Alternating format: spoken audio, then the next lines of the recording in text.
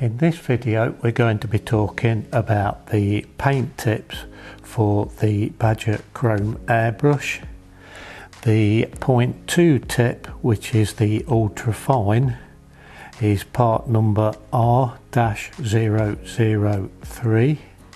The 0.3 tip which is the fine is part number R-004. To change the tips, we first remove the handle so that we can slide the needle out.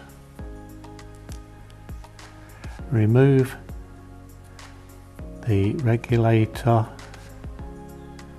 and the hold down ring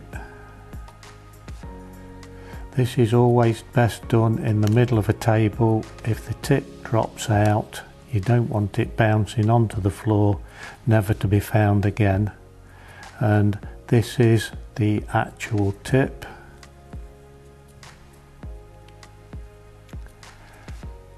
And to replace the tip, we simply reverse what we've just done, place the tip onto the airbrush, refit the hold down ring, being very careful of the threads. Finger tight only, replace the spray regulator.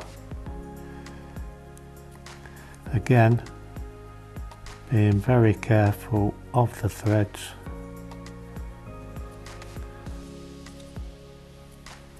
Make sure the trigger is sitting in situ slide the needle in and it just needs sliding till it stops no pressure needed lock it in place refit the handle and that is the paint tips for the Badger Krome airbrush. Thank you for watching our video.